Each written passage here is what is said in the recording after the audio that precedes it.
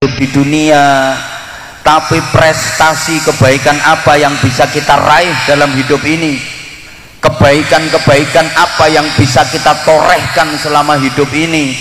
Amal-amal soleh apa yang bisa kita lakukan dalam hidup ini? Pahala apa saja yang bisa kita ambil dalam hidup ini? Itu jauh lebih penting daripada berapa panjang umur kita berapa lama hidup kita di dunia sakpiro dawane umurmu sakpiro suwene uripmu ning donya kuwi ora patek penting. Sing penting amal-amal soleh opo wae sing isok sampeyan lakoni? Prestasi-prestasi apa yang bisa sampeyan raih?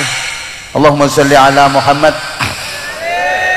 Terbukti banyak kok orang yang umurnya nggak terlalu panjang tapi prestasi yang diraih jauh lebih hebat.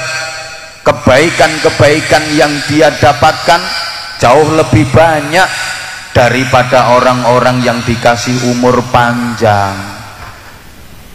Presiden pertama Republik Indonesia Bung Karno putra sang fajar sang proklamator nggak panjang-panjang amat umurnya tapi jasanya untuk Indonesia sungguh luar biasa.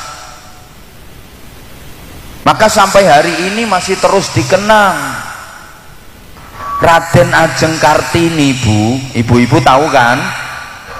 Nama asli Raden Ajeng Kartini itu Harum. Lu zaman nggak pernah nyanyi toh? Ibu kita Kartini putri sejati putri Indonesia. Nah ya siapa namanya? Harum.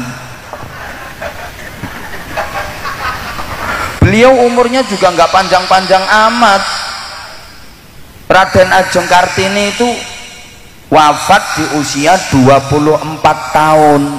Tapi beliau tokoh pergerakan pejuang emansipasi wanita maka sampai sekarang masih terus diajarkan di sekolah-sekolah. Diperingati 21 April Hari Kartini.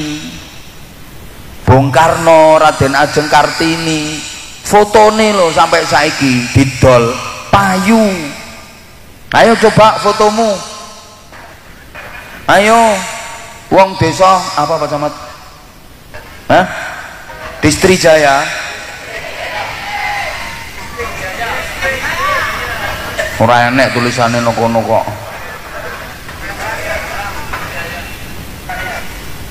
gisting. Jenenge gisting ya wes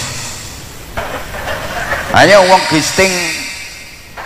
Eh biteng ae biteng ae angel. Wong gisting jaya jal. Foto wenang foto terus gede ke ayo gawa no pasar. Paling suwe payune kok ya iso-iso ora payu wong liwati malah do mencep kok. Iki sapa ya kok mentolo adol fotone?